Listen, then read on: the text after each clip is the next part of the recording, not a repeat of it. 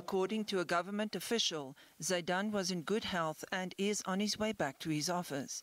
The Prime Minister was held at the Interior Ministry's anti crime department. Security at the Corinthia Hotel in Tripoli say men in approximately 150 cars came to take him. People came, assigned with a paper from the Prosecutor General with an order for the arrest of Prime Minister, and they showed it to the guys. They were revolutionaries. They entered and captured the Prime Minister. Zeidan and his government have been under pressure since U.S. Special Forces seized Abu Anas al-Libi this weekend.